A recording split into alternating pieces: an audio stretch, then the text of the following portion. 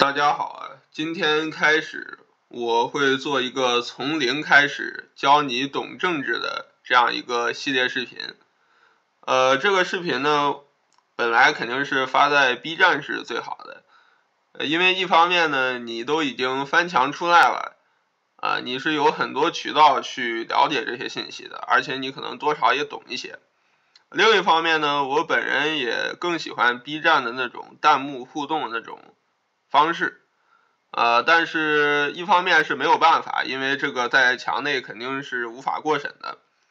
呃，另一方面呢，我发现即使是在墙外，也有很多人其实是对政治不感兴趣或者说不了解的，呃，比如说翻墙出来是为了看片儿。啊，之类这样的人，所以说，我觉得我做这个视频，只要对一小部分人有意义，那就够了。当然，也欢迎大家转发讨论。大家知道，在这个国内啊，言论管控是非常紧密的。呃，这个反贼群体就不说了，即使你是这个非常爱国爱党的人，那么你的言论。也很难这个进行长篇大论的发出来，呃，现在这个国内平台唯一是知乎上可能还稍微宽松一点点，但是尤其是在在其他 B 站和贴吧呢，你是这个即使是非常正统的一个观点，就支持我国的一个观点，你的言论也是很难发出来的。比如说说的夸张一点，就像这个新闻联播啊，或者说这个。呃，马原、毛概这种书，呃，书上的原话，你复制出来发出来，你一样也会被删。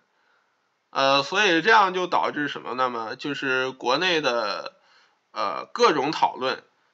都只能停留在非常低水平的互相对骂的阶段。因为你超过三行的话，不管是你是什么观点，大家都发不出来啊。所以说也是导致。呃，国内不管你是哪一派，对政治的了解都非常浅薄，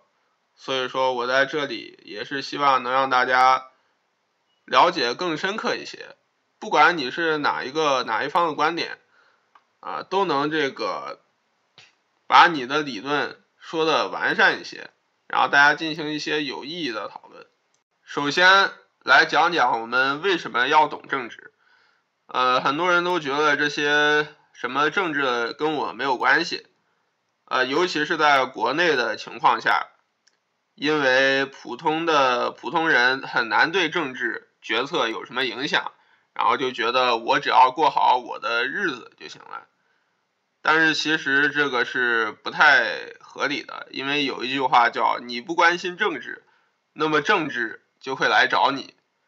然后下面这些就是一些你为什么要懂政治的理由。那首先呢，就是当做一个纯粹的政治爱好，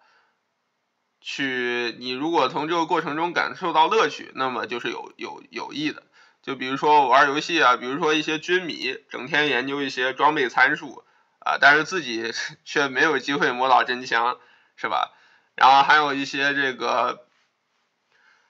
呃很多这样的例子。然后第二个呢，就是。你在网上对喷的时候，啊，扣帽子要扣对，呃，其实我本人是不是特别反感扣帽子行为的？我我有的时候为了避免争议，会自己提前戴上帽子，啊，我反感的是你扣帽子还扣错，呃，这样的话你这个，呃，喷的完全是鸡同鸭讲，这样的话就没有意义，而且你如果骂人的话，也不能让对方急，哎，你这个骂的就很失败。然后呢，就是保护自己。小的方面呢，就是你只要在网上发言，啊，都会有这个被封号的风险。比如说这个，呃，之前创作这个《阳光开朗孔乙己》的这个鬼山歌，啊，看他之前过往的信息，其实他是一个非常爱国爱党的人，啊，他这次肯定没有想到，他因为创作这样一首歌。啊，他以为他自己是爱国者，啊，但是却被这个全网封杀，还是比较惨的。他这个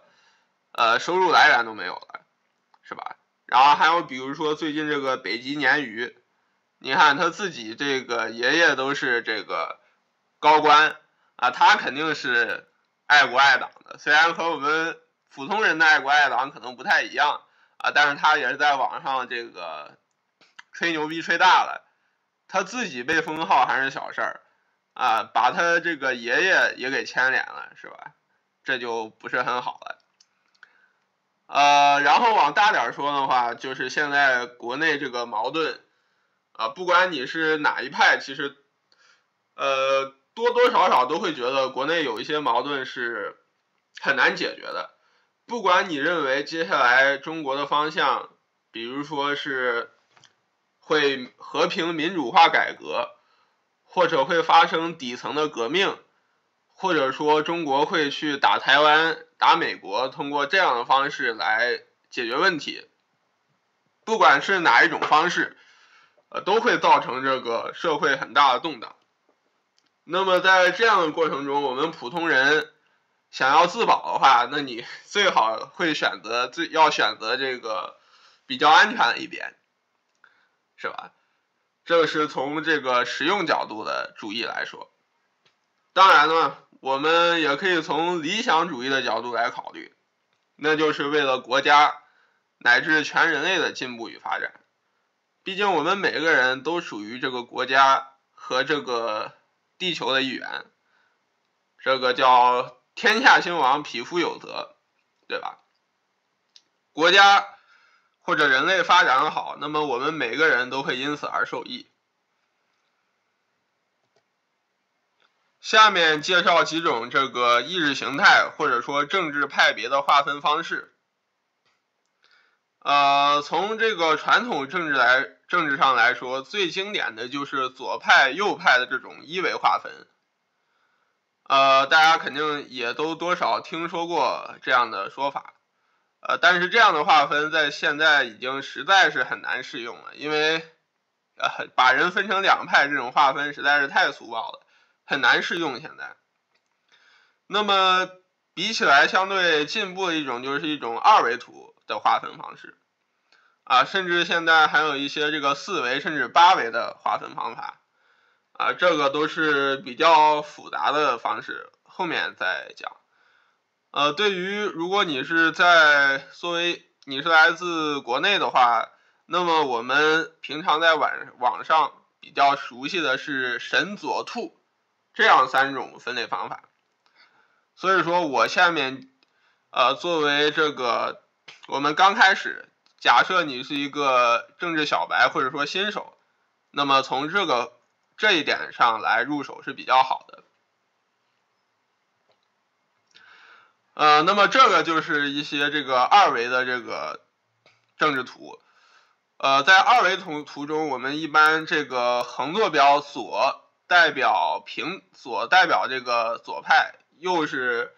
呃右是偏右派，而上则代表集权，下是偏向自由的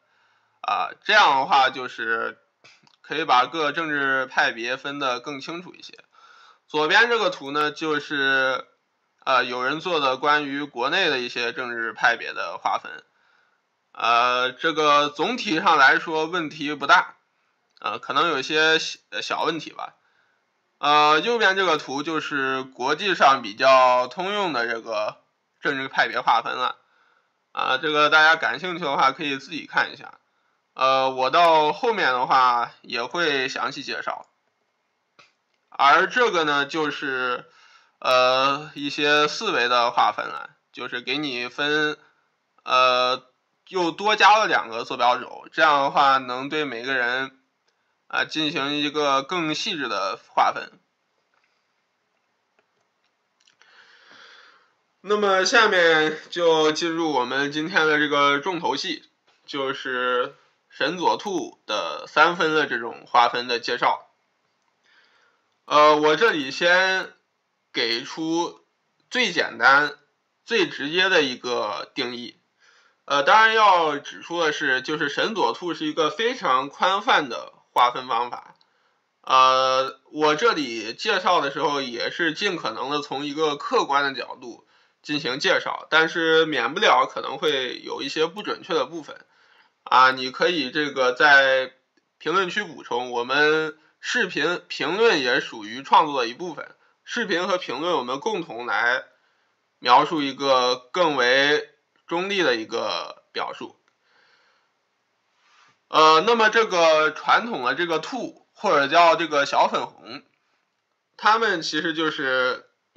通俗点就是说，爱国爱党的一部分人，呃，他们是目前来说是支持这个习主席，呃，或者说就是谁在台上，他们就支持谁，呃，就是我的立场就是国家的立场就是我的立场，呃，这样的话，相信大家也都听过很多了，呃，这一派认为呢，我们国家目前的路线是比较正确的。然后也没有什么问题，呃，唯一的问题就是受到这个呃昂萨或者说这个英美这个帝国主义的压迫，啊，我们如果中国要实行发实行这个民族复兴、中国崛起，那么就要打败这个西方的这个话语权，啊，进行一个入关，啊，这样一个思路。那么这个左派的话，主要是这个毛左。呃，左派的话，就是他们主要是拥护毛泽东以及文革的路线。左派认为文化大革命是正确的，但是但是不够激进，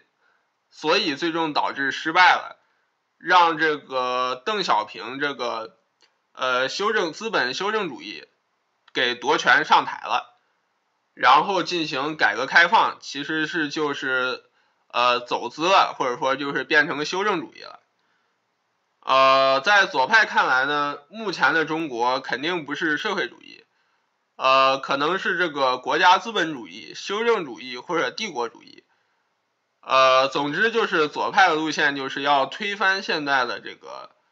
政政权或者路线，然后回到毛泽东时期的路线。啊，推翻改革开放，回到这个文革时期，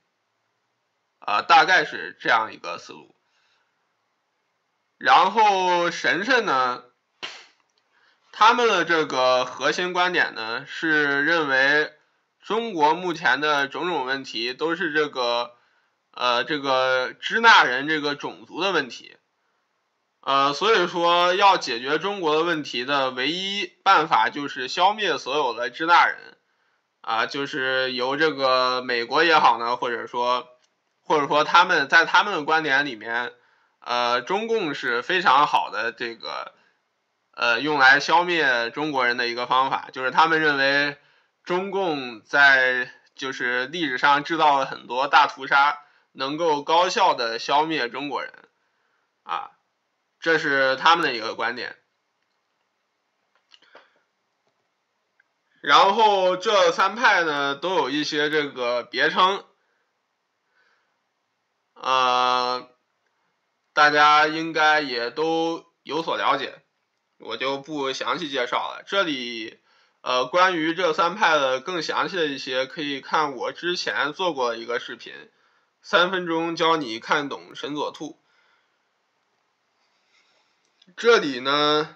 是直接从之前的视频截过来的。是这个三派的名称由来。兔的话就是之前前几年很火的一个《那年那兔那些事儿》的动画。呃，在这个动画里面呢，呃，兔是作为中国的一个拟人化的形象，代表着中国，所以说很多人就是自称这个种花兔啊，就是从这里来的。那么这个左呢，其实就是。呃，传统上的左派、右派，因为当时法国法国大革命之后，呃，这个进行议会议会选举，然后激进派坐在这个大厅的左边，保守派坐在右边，所以说这个划分便沿用了下来。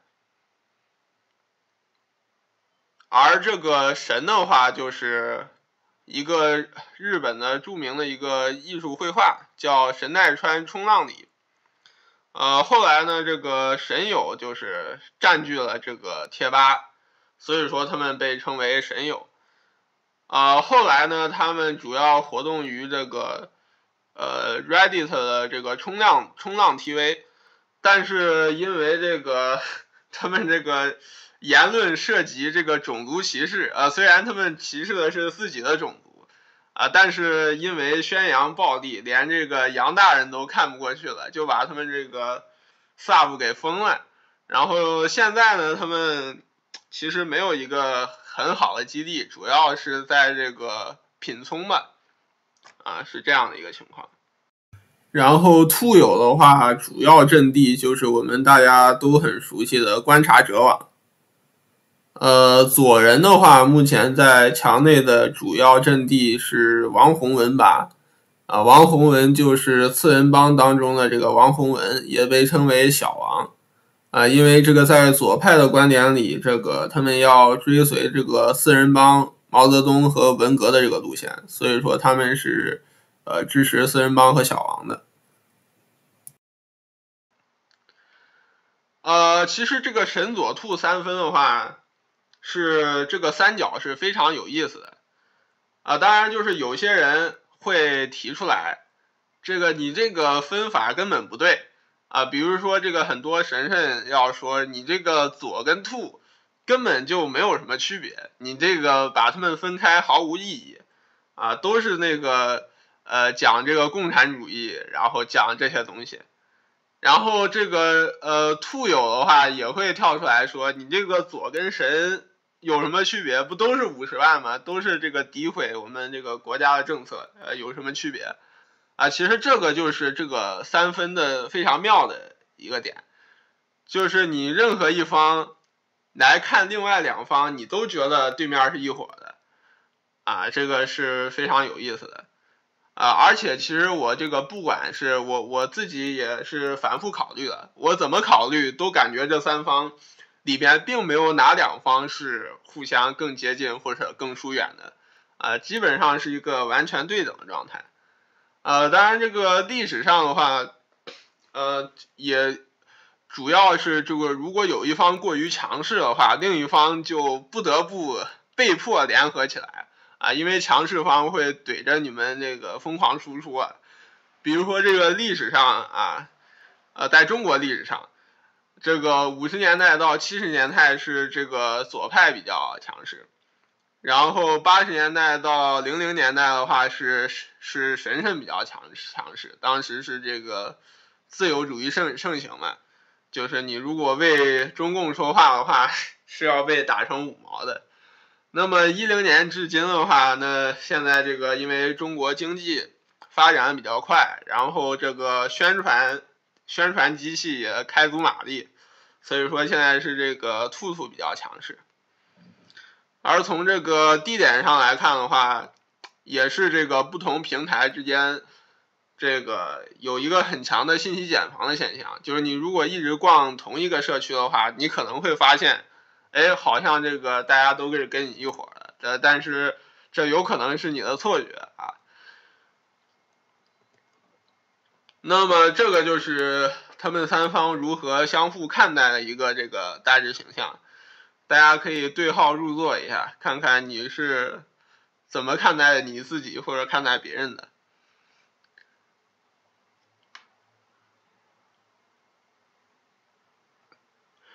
啊，那么这样的话，其实你对这个三个核心派别已经有所了解了。啊，当然我们在这个平常在网络上，因为呃经常会。就是互相扣帽子，会导致这样本来是极端的称呼发生一个泛化现象。呃，比如说这个，呃，最明显的就是神圣这个称呼是被泛化的最严重的。这个最原本的这个神圣群体是有非常严格的定义的，那就是必须一定要屠之啊，就是要这个屠杀这个中国人啊，这样才叫神圣。但是因为这个兔友太强势，把所有对国家有不满的都划分为神圣了，所以说这个泛神群体呢，就是对于当下这个国家政策也好啊，现状也好啊，有所不满的人啊，都可以被称为一个神圣那么这个泛兔呢，其实其实也是一样的啊，因为这个呃比较极端的兔兔的话，呃说实话，精神上不是很正常。但是其实也有这个我们相当多数的人，就是在国内，其实我们叫这个沉默的大多数，其实就是没有那么狂热啊。但是呢，这个还是爱国爱党，就是说这个认为自己的国家还是不错的，然后肯定是要这个支持的啊。这样的一个人群就是，呃，其实是大多数吧。也会可能也会被一些人称为这个“兔兔”，或者说被这个称为被中共洗脑的这个人群啊。那么这个左派呢，也是这个核心的左派呢，肯定是要这个革命的，就是要这个第二次呃上井冈山，或者说这个第二次进行呃共产主义革命，要推翻县政府的啊。但是因为呢，这个中国现状。他还是以这个马列毛思想作为一个宣传的一个点，所以说这会导致很多这个很多并不其实并不是左，他们是有点吐的一部分人啊，也会整天说一些这个马列毛啊一些这些语录，然后这样的话就会啊就会被这个神圣群体也称为左人。比如说，称为这个王左，或者说这个宅左、二次元左啊等等各种现象，呃，也就是说，在神圣看来呢，只要你呃说一些这个马列毛方面的这个话，你就是一个这个这个比较宽泛定义上的左人了啊。这也就是为什么在外网这个左人和兔兔往往被混在一起的原因。啊，那么这一期的话，视频时间也比较长了，然后更详细的介绍我会放在第二集。